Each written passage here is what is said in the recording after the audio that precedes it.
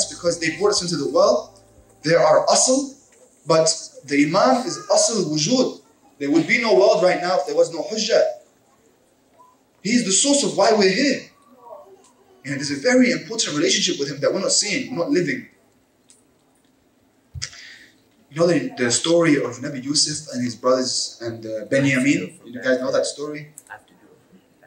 You know how when his brothers came, they didn't recognize Nabi Yusuf. But Nabi Yusuf saw Benjamin. And Benjamin, he had things, he had certain attributes that Nabi Yusuf, Nabi Yusuf wanted, because he wanted to keep him with him. So what they did was, because Nabi Yusuf wanted Benjamin to stay with him, they organized a plan where he took a, a cup and he planted it in the bag of Benjamin. And then he said, Wait, there's a cup missing, there's something missing. And all the brothers said, no, There's no way anyone here would have stolen it. So they searched the bags, and it turns out in Benjamin's bag, he framed him. Nabi Yusuf made a scenario and he framed his brother that he stole the cup. Because they said, I must take him prisoner now. He said, No, please don't take him prisoner. His dad's an old man, he means a lot to his dad. So Nabi, Nabi Yusuf السلام, responds with the ayah, قال معاذ الله أن نأخذ إلا من وجدنا متاعنا عنده. إنا إذا لظالمون. said, God forbid we take anyone except who we find our goods with. We will only take those who our goods are with. So Benjamin and the cup. If I take anyone else who my goods are not with, because they told him, take one of us instead. He said, if I take anyone else, then I'm an oppressor. I cannot be an oppressor. I must take the one who took my goods, who has my goods. This mata'ana, my goods. What goods though? The cup? Is that really what he means? You see, for every dhahir in the Quran, there's a batin. Nabi Yusuf salam, he's the insan al-kamil. He's the perfect human being in his time. The way Imam Mahdi is the insan al-kamil now. Nabi Yusuf, he has all the attributes that we love. Courage, faith, he has manners, he has knowledge. He has all the mata'. Mata'. He says, mata'ana anda. So he looks at Benjamin. That means Benjamin has some mata' that Nabi Yusuf wants. He has certain attributes. Nabi Yusuf, it's not the cup. So he said, I want to bring those mata' here because if I take anyone else, I'll be a person. That means anyone doesn't have the attributes that the Imam wants from us, he won't take us. He wants us to have certain attributes. Then he will take us. When he sees his mata with us, he will take us with him. He will create a scenario, the same way Nabi Yusuf created a scenario. He will frame us. He will plant a cup in our bag, and he will come to us. You don't have to worry about it. He will do it for us. He will bring us to him.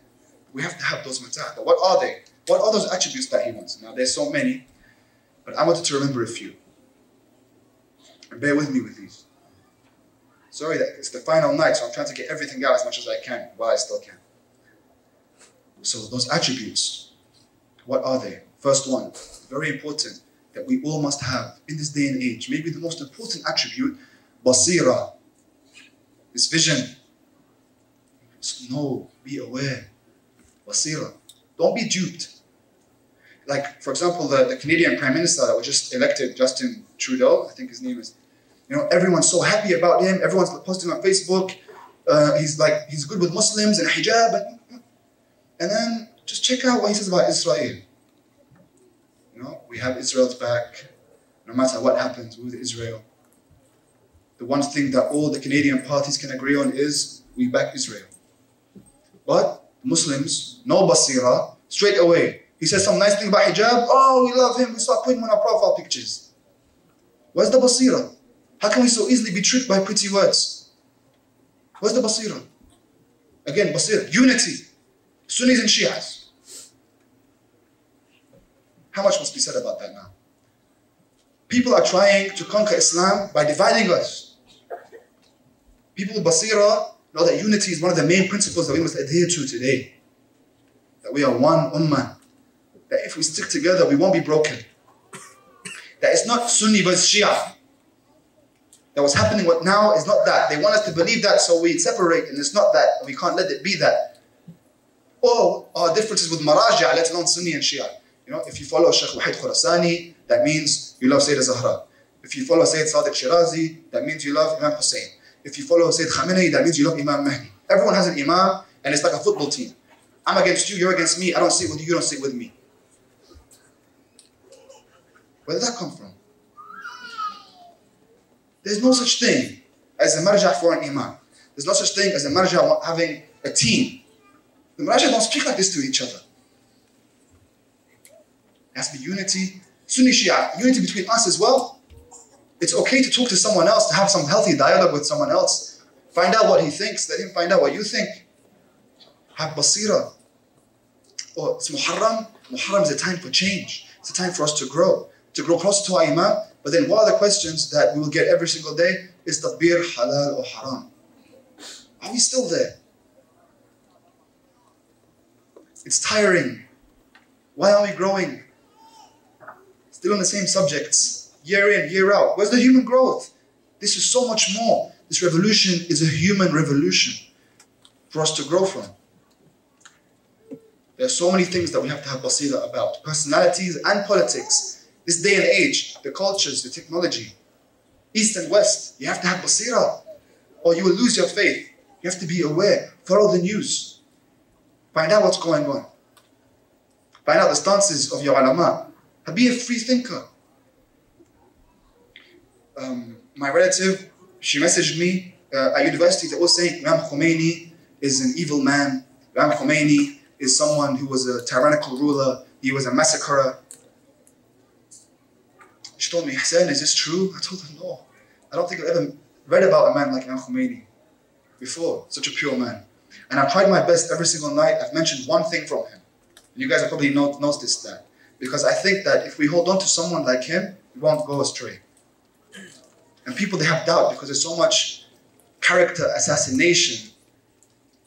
There's so much propaganda to bring us away from someone like Imam Khomeini. People don't like to talk about these things, but I want to talk about these things. No, not at all. My advice, everyone hang on to him as much as you can. Read from him. Or the world right now. You Look at the stances in the world. Saudi Arabia. Find out about Saudi Arabia. Look to its history. You know Saudi Arabia, you know the royal family of Saudi Arabia? They're actually from the heritage of Bani Qinaqa', the Jewish tribe that used to fight the Rasul. They're from that tribe. They, they, when people say they're Jewish, it's not some you know arrivals crazy thing. It's it's history. The, the family tree is there if you want to check it out. Find out about the history of Wahhabism and Takfiris, and that that's not Sunnis, and that it's not Sunnis versus Shias. It's Sunnis and Shias together versus them. And don't be fooled. You see what happens right now. You see you see ISIS. You see Daesh. You see Takfiris, Jabhat al-Nusra. You think these guys are the real enemy. You know, Israel is not that bad. it's two sides of the same coin. If you say that, you're not very politically aware. Israel is the main enemy. The main enemy. You must always remember that. And any friend with Israel, we have to disassociate from. The main enemy. Some ulama, some sheikhs, when what began in Syria five years ago, they said that what's happening there is not true jihad, and the people who die are not shuhada. If we went by what they said, and these are sheikhs in Qom, 20 years in Qom, 30 years in Qom saying this, not any, any normal sheikh, has much knowledge, and he's saying this, no jihad in Syria. What's happening right now is not true jihad, not for God. And that if we were to follow what they said, then Sayyid Zainab shrine would have been demolished. Thankfully, Men of God were there, they protected it, but they were given permission to by our great Maraja. So Maraja, they acted fast. We have to have basira to see who are the true scholars, who are the non-true scholars. It's 100%. Ayatollah Khamenei, he said at that time, he acted very fast. He said that every single drop of blood in Syria is on my neck on the day of judgment. Go. Basira to see. We're going to follow this way. Five years later, it shows the importance of what happened and the fast action showed. But before then, everyone's like, how could they do this? Oppression. helping the oppressor, no basira. Basira, very important for us to follow.